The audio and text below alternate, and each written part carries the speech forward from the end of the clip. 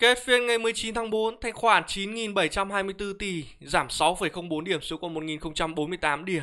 Như video hôm qua phân tích với mọi người, những cái cổ phiếu ví dụ dòng bất động sản hay dòng chứng khoán hôm nay tăng FOMO là mọi người canh mà mọi người chốt lời đi, đúng không? Hoặc là các bạn bán đi để mà đợi một cái chu kỳ mới. Đấy nếu mà những cái cổ phiếu hôm nay mà đầu phiên mà tăng nhiều cổ phiếu tăng 3 4% nhưng kết phiên lại quay giảm đỏ, đúng không? Đấy cho nên cái mọi người phải hết sức lưu ý ở cái giai đoạn này là giai đoạn mà thị trường phải đánh lại. Cho nên mình phải uh, tranh thủ những cái nhịp hồi phục của thị trường là mình ừ, tranh thủ mình bán ra ngay. Uh, ngoài ra vẫn có những cái dòng mà mẫu hình dòng tiền khá là ổn nhưng mà xét về tổng thể thị trường chung đúng không? Thì nó đang là um, tiêu cực cho nên là mình phải hết sức um, cẩn thận và quản trị rủi ro thật là tốt.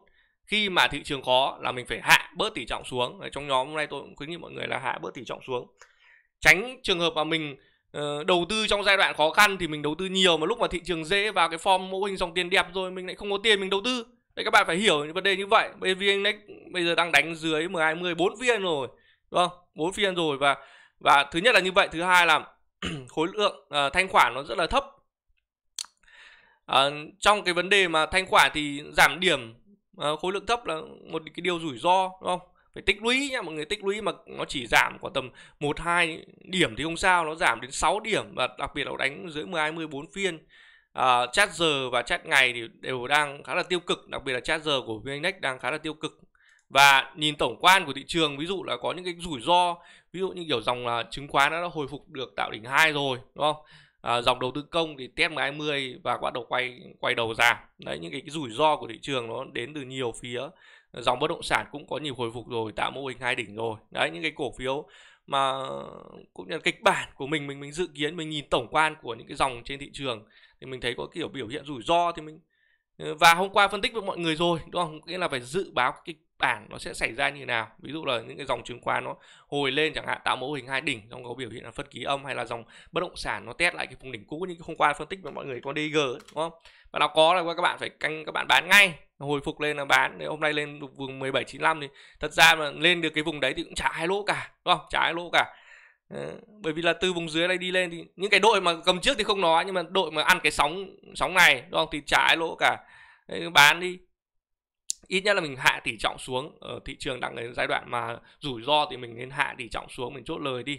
Mình dành tiền mình lại làm vòng nữa, có phải là ngon không? Bây giờ mình riêng việc gì mà mình cứ phải fomo mà chiến đấu trong thị trường này? Tất nhiên có thể đầu tư được những cái một vài cổ phiếu, ví dụ ừ, tương đối tốt. Ví dụ ngày mai tôi nghĩ là thị trường dù có giảm điểm đi chăng nữa thì ừ, tôi nghĩ là vẫn vẫn phân hóa thôi, chứ không phải là mã ngành nào cũng giảm đâu. Để mà upo trong giai đoạn này khoảng tầm ờ, 30 40 điểm thì tôi nghĩ là hơi hơi khó, đúng không? Nhưng mà những cái cổ phiếu nào mà thấy mình cảm giác mà đã target hay là phân tích kỹ thuật đã, đã ok rồi thì mình nên bán đi đó đây ví dụ tạo đỉnh một này về tạo đỉnh hai nó cho các ông về còn uh, ờ, chốt các thứ ngon nghẻ mà không chịu chốt thì chết nhá. DG hay Lovoland này cũng cũng vậy này tạo mô hình hai đỉnh hết rồi. Tạo mô hình hai đỉnh mà quay đầu. Nếu mà hai đỉnh mà bứt qua cái vùng kháng cự mạnh thì không sao nhưng mà hai đỉnh lại quay đầu.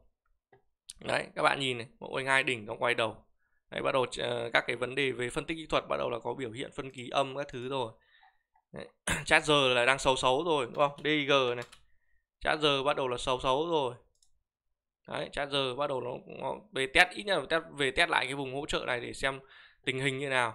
Như là mình uh, hạ bớt tỷ trọng xuống hoặc là mình chốt lời bớt để mình xem là thị trường sắp tới nó diễn biến như thế nào. Nếu mà ổn định thì mình quay trở lại mình đầu tư còn không thì mình phải bán bởi vì có những cái trường hợp mà uh, nhiều cổ phiếu nó đánh nó không thành công ấy mọi người. Nó đánh không thành công và nó cắm mỏ xuống nó kéo theo hiệu ứng thị trường sẽ giảm rất là mạnh.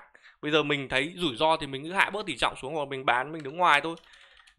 Nhưng hôm nay thì thật ra trong nhóm tôi chả khuyến nghị mã nào chỉ bảo mọi người uh, hạ bớt tỷ trọng thôi. Còn trong đội chuyên nghiệp thì có khuyến nghị con ờ, uh, HAG mua gọi là nhìn thấy phân tích kỹ thuật đẹp quá. Đội phân tích kỹ thuật thì trong nhóm chuyên nghiệp thì đội đấy đã theo tôi học khá là lâu rồi, thì cứ thấy có nào phân tích kỹ thuật đẹp là mua thôi. Đấy, mua 8 mua hai g 8 xào lại. Chốt lời hai g rồi nhưng mà xào lại xào lại hai g. Hôm nay mua giá 8 nhiều bạn mua được tốt hơn 791 792 793 794 nhiều lắm. bởi lúc tôi khuyến nghị giá 8 thì nó còn cầm nó còn nó còn rơi xuống một chút. Ờ, dự kiến là về vùng hỗ trợ này thì có thể sao lại nhưng mà thôi nhỉ mua thấy nó đẹp quá. Và những cái vùng vấn đề thông tin tích cực của đội gạo đội lợn và đội uh, nông nghiệp và dầu khí đang khá là ổn. Cho tôi khuyến nghị mọi người là uh, ví dụ như BR ta chẳng hạn hoàn toàn có thể tiếp tục nắm giữ ban hay là những cái cổ phiếu lộc trời chẳng ban thì chốt lời rồi.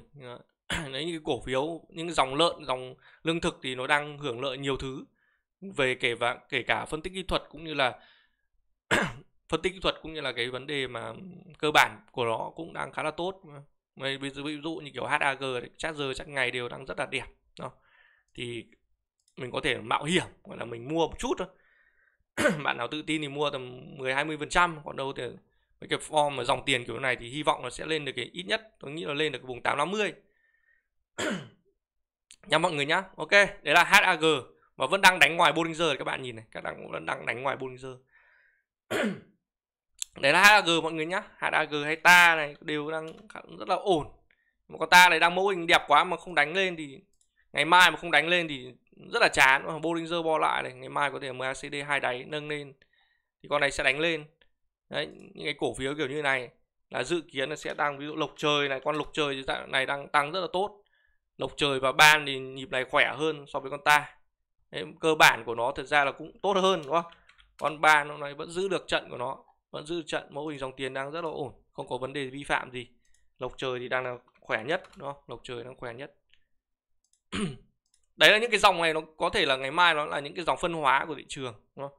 đây cũng có thể là gọi là ba lính ngữ lâm này ngày mai có thể là làm nhịp rút, nước rút xong rồi một vài nhịp xong rồi sẽ ra. Gặp vùng kháng cự này là cắm mỏ quay đầu ngay các bạn yên tâm. Những cái con lộc trời này thì gặp vùng kháng cự ở trên này, này. Tăng từ một hai phiên nữa là các bạn nếu mà có chẳng hạn thì các bạn nên tranh thủ các bạn chốt ngay kể cả HAG hay là ban cũng vậy thì tăng một nhịp nữa một hai nhịp nữa là các bạn phải cân nhắc các bạn hạ ngay. Cái rủi ro thị trường đến từ những cái dòng như kiểu đầu tư công mọi người nhá. Rủi ro thị trường đến từ những dòng đầu tư công này test đúng 10 20 nó quay đầu. À, thường là đánh kiểu mà em bé bị bỏ rơi mà ngược như này thì Ừ, em bé bị bỏ rơi ở vùng dưới này đáng lẽ phải vứt qua 10 20 xong rồi test lại thì sẽ ok hơn. Còn này test 10 20 quay ngược lại thì chat giờ chat ngày thì đang khá là xấu, đúng không? Ừ. Đấy, thì chat giờ chat ngày đang khá là xấu. HHV này VCG này. Đội đầu tư công là nó đánh không không phải nhịp khỏe rồi, đánh không phải nhịp khỏe rồi. Cho nên cái vẫn phải đợi cho nó tích lũy lại. Hy vọng là sẽ giữ được cái vùng nền này tầm 2 đến 3 phiên nữa. Thì, nói chung là tôi có phân tích với mọi người trên YouTube này rồi. Cái cái mà trường hợp mà mọi người có thể tham gia các bạn đầu tư, dòng đầu tư công này, phải đợi cho nó xử lý cản xong thì bắt đầu mình vào cũng được. Ví dụ như kiểu VCG thì chẳng hạn, lên test hẳn cái vùng mà, vùng 21 đi. Đấy, lên cái vùng 21 đi xong xử lý cản xong xuôi, xong bắt đầu test lại. Thì mình sẽ lúc sẽ tham gia, sẽ ok hơn nha mọi người nhé này BLC này cũng cũng bắt đầu có biểu hiện là yếu.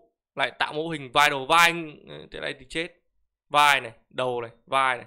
Đấy các bạn ờ, chưa nhìn quen mẫu hình thì thì, thì, thì, thì mình vẽ cho các bạn cho nó quen nhé cái mẫu hình vai đầu vai là luôn luôn các bạn phải phải ờ, phải phải nhớ nhé nó mà không bứt được là là mình phải bán ngay. Đấy. Đấy vai đầu vai. Đấy, vai đầu vai nhá. Lại còn MACD có biểu hiện phân ký âm này chết. Đấy vai đầu vai mọi người nhá. Cái mô hình vai đầu vai này khá là truyền thống khi mà ở trên cái vùng mà đỉnh. Ờ, khi mà gặp cái mẫu hình vai buy vai ở cái vùng đỉnh là mình phải phải bán ngay. Đấy, đây là cũng là cái vùng chiết khấu à, vùng vùng nó tăng giá khá là lớn của con con BLC này rồi. Đấy nó tăng từ vùng dưới này đi lên là hai trăm phần trăm rồi đúng không? Hai trăm phần trăm rồi thì thôi mình phải lúc nào cũng phải quản trị rủi ro. Ví dụ bạn, nhiều bạn cũng bảo là tất nhiên là dòng đầu tư công thì tất nhiên là về cơ bản của nó rất là tốt. Mình không phàn nàn cái vấn đề như vậy. Nhưng mà có thể nó kết thúc sóng ở đây, nó bây giờ test lại những cái vùng dưới này mà đánh lên trận nữa hay sao, đúng không? Chứ không phải nó, nếu mà đẹp hơn nữa, mọi người đẹp hơn nữa rồi đầu tư công nó phải tích lũy quanh vùng này đi. Bây giờ phá vỡ xu hướng vai đầu vai đi. Mà đầu vượt qua vùng cản, nó test lại thì lúc đấy sẽ ok hơn. Còn bây giờ đang vai đầu vai, gặp đúng vai đầu vai quay ngược này thì các bạn nên quản trị rủi ro, đúng không? quản trị rủi ro và vấn đề cả cái sóng dòng của nó đều đang uh, xấu như thế thì mình tất nhiên mình phải quản quản trị nó. Này em bé bị bỏ rơi ngược này. Đấy, phân ký âm các thứ. Đây rủi ro đến từ dòng đầu, đầu đầu tư công và dòng thép mọi người nhé Đấy, Nam Kim này cũng không test được 1020 quay ngược lại luôn. Đấy, kỳ vọng là test được 20 cho mọi người bán đấy. bởi vì target của nhịp này của Nam Kim và Hoa Sen test 20 rồi bán test gần được đúng không? Gần được 20 rồi test. Rồi rồi quay ngược lại luôn đấy, rủi ro của các ông này là đang như này. Với những cái form như này thì tất nhiên là rủi ro nhiều hơn cơ hội rồi thì mình thôi mình không tham gia. Đấy rủi ro đến từ những cái dòng đầu tư công dòng thép và những cái dòng chứng khoán nó tạo được cái mẫu hình hai đỉnh rồi. Đấy các bạn nhìn FTS này đấy đến treo cổ này mẫu hình hai đỉnh đến treo cổ này thì thôi mình cứ bán đi cho nó lành rồi rủi ro đến những cái đội này.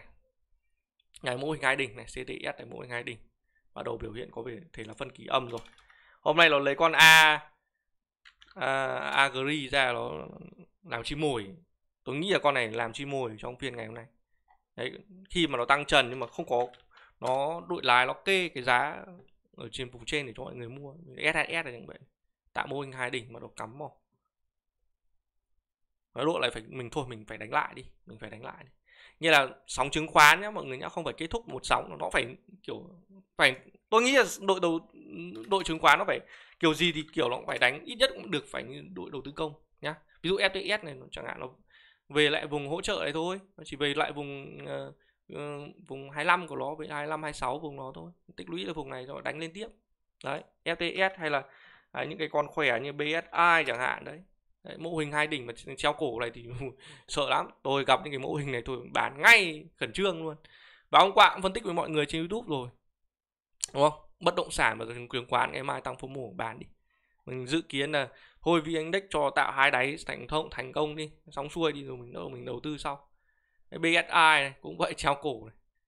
Mà về khả năng về vùng hỗ trợ vùng hỗ trợ này mà về mà không tạo được cái mẫu hình tốt thì có khi lại lại cắm mỏ tiếp lại test 1020 đấy có thể là đây là kết thúc cái chu kỳ tăng điểm của nó. Đấy, cho nên vì VN Index nó nhiều rủi ro quá tôi không định lên video ngày hôm nay thành thật mọi người không định lên video ngày hôm nay bởi vì là hôm qua đã phân tích với mọi người rồi và mình thì mình không thích kiểu là lên lên lên, lên phân tích để mà thị trường trường xấu đâu. Bởi vì khi mà lên phân tích mà có thiên hướng thị trường xấu là mọi người thường không bằng lòng lắm. Đấy thì tôi thì thật ra hôm nay tôi không muốn phân lên phân tích đâu. Bởi vì là thôi thị trường xấu thì cho nó xấu. Bởi vì hôm qua mình đã phân tích với mọi người là ngày mai tăng thì canh mà hạ bớt tỷ trọng này bán đi rồi. Bây giờ mà lên lại bảo là thị trường thế lọ thế kia mọi người nói, đúng không? Cho nên khi mà thị trường nó xấu xấu hay gì tôi không muốn lên phân tích bảo là thị trường này đang khoai khoai. Thành thật mọi người, bây giờ là thị trường của nó là khoai, đúng không? Mình chỉ nói là khoai thôi chứ còn để mà xấu hay tốt gì thì phải ngày mai biết được chứ đó. có thể BSI ngày mai tăng trần tiếp thì làm sao, nhưng mà thôi nhìn những cái form kiểu này mình đánh nhiều form này thì mình dán thì mình bán thôi, khuyến nghị mọi người bán thôi, rủi ro nhé rủi ro đến từ những cái dòng kiểu ờ, đầu tư công với dòng thép nó dễ đầu gãy đấy, dễ nó gãy thôi. Nhìn rất là sợ, đúng không? những kiểu, như kiểu form kiểu làm kim này hoa sen thì tôi, không test đánh quá nhiều phiên dưới 10 20 và cũng như là lại tạo em bé ngược ngay thì thôi xong rồi. Là rất là rủi ro, đấy. Đặc biệt là con hoa sen này, đang tạo em bé ngược. Chat giờ chat ngày đều đang rất là tiêu cực, đúng không? đấy.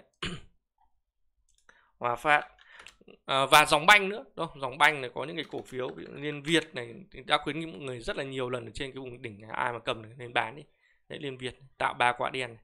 hồi lên chắc cũng chỉ để bán thôi. Liên việt rồi nhiều cổ phiếu lắm mọi người nhiều cổ phiếu. Mbb thì đấy, mbb mạnh chốt. Trong nhóm anh Vũ cho mọi người chốt không là cuối cùng có khi là sắp về hòa rồi. Mua ngày à, 24 tháng 3 và lên trên vùng này chốt MBB dòng banh thì tôi thấy nó cũng đang rất là tiêu cực. Nhiều mã nó không giữ được cái tích lũy đẹp của nó. Ví dụ Techcombank hay là SHB đang mẫu hình dòng tiền gọi là ổn nhất của của dòng banh. Nhưng mà lại không là những cái dòng mà giữ chỉ số được. SHB thì mới mới một đỉnh mọi người nhé mới một đỉnh. Còn này thường thì phải mẫu hình hai đỉnh nó mới chết được. Đấy, thì có thể là ngày mai tôi nghĩ là thị trường nó vẫn phân hóa. Hy vọng không phải là có thể là tích lũy một vài phiên lò dò lò dò xong rồi mới úp chẳng hạn. Đấy thì thì tôi mình cứ đợi cho nó viên index nó đánh lại đi. Đó. IDG này tạo mô hình hai đỉnh xong bắt đầu lại điều chỉnh luôn. Cái form này thì tôi có phân tích mọi người rất là nhiều rồi đúng không? Đánh xào nhịp hai là các, các bạn xem những cái video từ hôm thứ năm hay là hôm thứ bảy tôi có phân tích mọi người tuần trước. Là các bạn muốn ờ, mua IDG các bạn có thể mua tầm 30 40 phần trăm xào lại ăn đỉnh hai đúng không? Thì hàng về thôi, chốt lời. Rất là ngon nghẻ trong nhóm thì có anh Vũ, anh mua được.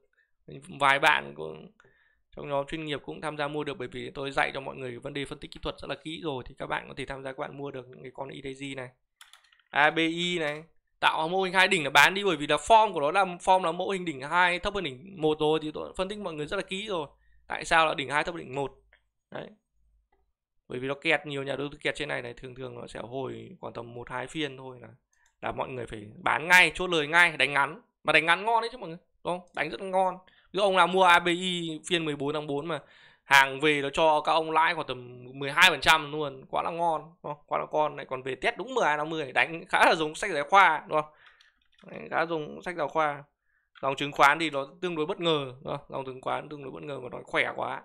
Thì bạn nào bắt được dòng này thì cũng ngon. Một chỗ mà hôm nay là theo quan điểm cá nhân tôi là hôm nay nên chốt lực đúng không? Các bạn xem RSI là các thứ đều đang ở vùng rất là cao. RSI 7 78 80 rồi. Treo cổ nữa thế này thì thôi, mình nhìn mình nhìn những cái form kiểu như này thì thị trường thế giới lại còn đang giảm điểm nữa. Dow Jones đến test cái vùng mà 34.000 quay đầu. Đấy, Dow Jones đây ở đây là hợp đồng dầu khí LCO Brent thì gặp vùng kháng cự, lại về test lại chuyện rất bình thường. Nó nhìn qua thị trường của mình thì thấy có mỗi gạo lợn với dầu thì nhìn còn ổn ổn những cái vấn đề vĩ mô và cơ bản nó còn ổn. Chứ còn để mà những cái dòng khác với dòng chứng khoán hay dòng ờ, đầu tư công tất nhiên cơ bản của nó cũng tốt nhưng mà mẫu hình của nó đang xấu quá. Đấy, đấy đi Dow Jones đấy. đấy cả vùng 34.000 là thường thường nó sẽ test lại thôi mọi người. Và 34.000 vùng kháng cự mạnh gặp lần đầu tiên thì thường nó phải sẽ test lại thôi. Nhẹ thì test nông nông nông nông nhưng mà nó mà yếu là test sâu đấy phải test lại 10 20 thì chết giờ mà là, này, đang tích lũy dài như này mà mà test 10 20 thì khá là yếu. Trừ khi nó cứ lằng hoàng lằng hoàng quanh vùng này mà nó kéo dài ra, kéo dài ra thì thì ổn. Chứ còn đâu nếu mà nó mà, nó phải kéo dài ra vùng này đi. Đấy, nó cứ tích lũy quanh vùng này thì ổn. Như là xử lý cản một thời gian dài. Đấy, thì thì thì nó sẽ bứt được lên bứt được qua. Còn đâu mà loàng hoàng vùng này mà không xử lý được mà dễ, rất là dễ cắm mỏ mọi người nhá. RC giá vàng. Giá vàng phải test lại chứ đúng không? Gặp vùng kháng cự mạnh của nó thì test lại chuyện rất là bình thường của giá vàng. Test lại xong một độ rung rú tích lũy làm một vòng nữa. Khả năng là đấy mẫu hình vai đầu vai rồi vai đầu vai bắt đầu lòng hoàng rơi xuống. Giá vàng. Thôi test được cái vùng đỉnh cũ là cũng là quá là tuyệt vời rồi còn gì. Đó.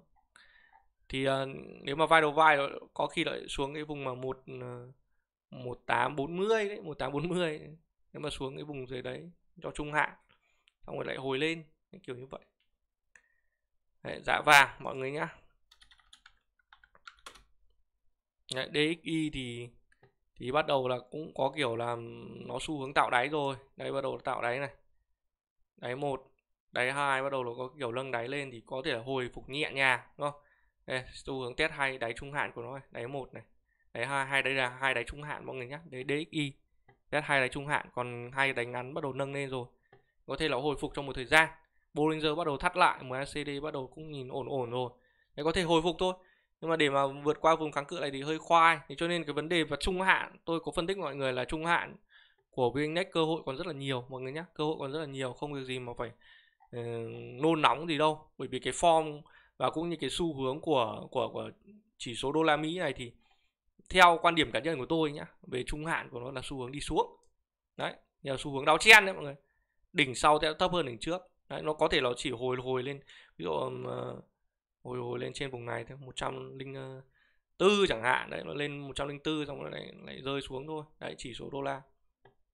Xu hướng của nó xu hướng đao chen tôi nghĩ như vậy. Đỉnh sau thấp đỉnh trước. Và đáy sau khả năng là cũng thấp hơn đáy trước. Đấy hồi lên tí xong lại giảm thôi cho nên cái vấn đề mà bây giờ gọi là VNX gọi là rủi ro trong ngắn hạn thôi. Còn về, về trung hạn của của VNX tôi đánh giá là vẫn là ổn nhá. Vn vẫn là ổn. Nhưng mà mình bây giờ mình thấy VNX nó đang khoai quá đúng không? Thì thôi mình uh, hạ bớt tỷ trọng xuống đúng không? ok hôm nay phân tích vậy đi. Các bạn muốn hỏi bằng anh nào thì các bạn bình luận phía dưới nhá. Tối sáng ngày mai mình sẽ trả lời mọi người. Các bạn like cho vui nhá. Like cho vui. Hôm nay thiếu câu like cho vui. Hôm nay thật ra hôm nay không thích lên video đâu nó nhìn thị trường nó xấu xấu mình lên video nói thế lọ thế kia mọi người không thích đúng không? Đã đầu tư là ai thích thị trường đi lên chả ai thích đi trường trường đi xuống nhưng mà thấy rủi ro thì cũng phải nên cảnh báo cho mọi người. Hôm nay không lên đi không lên video nhưng mà có chia sẻ với mấy bạn trong uh, nhóm lâu năm các bạn bảo thôi lên video đi. Lên video phân tích có tình gì thì mọi người còn biết sự đường xử lý chứ bây giờ nói chung đây là chia sẻ theo quan điểm cá nhân thôi, còn ngày mai diễn biến thị trường thế nào mới biết được chứ, đúng không? Bây giờ có thể là đang xấu, ngày mai tăng trần thì sao sao, đúng gọi là bây giờ đang tiêu cực thì thôi mình hạ bớt tỷ trọng xuống. Còn đâu mà khi nào tích cực thì mình đánh tỷ trọng nhiều hơn hoặc full margin các thứ. Đấy, thì cũng phải cho nó điều chỉnh nhá. Nhiều cổ phiếu tạo mô hình hai đỉnh cho nó mô hình hai đỉnh đi, rồi rung rũ rồi test lại. Thành công nó bắt đầu mình tham gia mình mua lại sau nhá. Đây là quan điểm cá nhân của tôi à, ok các bạn muốn hỏi mọi người nào bình luận phía dưới tối sáng ngày mai mình sẽ trả lời mọi người. Các bạn muốn tham gia dung khuyến nghị và phân tích thị trường trong phiên thì các bạn lì xì từ 2 triệu trở lên. Còn các bạn muốn tham gia dung khuyến nghị phân tích thị trường trong phiên cũng như là tham gia khóa học phân tích kỹ thuật và phân tích dòng tiền thì các bạn lì xì từ 5 triệu trở lên nhá. Chúc mọi người một buổi tối vui vẻ.